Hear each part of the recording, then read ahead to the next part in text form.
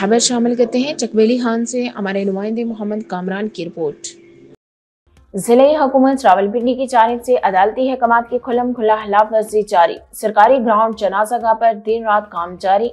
Additional district जज रावलपिंडी हाकिम खान बकर ने रावलपिंडी कमिश्नर रावलपिंडी को union council Dahman Saida Ali town में जनाजा गाह की जगह पर इन्वायरमेंट कम्प्लेक्स तमीर करने से रोका और स्टे आर्डर जारी किया। मगर इसके बावजूद ज़िले हुकूमत की एमा पर ठेकेदार ने तमीराती काम जारी रखा। एलियाना इलाका दरखास्त गुजारों ने रावलपिंडी पुलिस की हेल्पलाइन वन फाइव पर कॉल की और पुलिस मौका पर आई, मगर ठेकेदार ने एक ना सुनी। एलियाना धामा सैदा का कमिश्नर रावलपिंडी के खिलाफ बड़े मुजाहरे का ऐलान।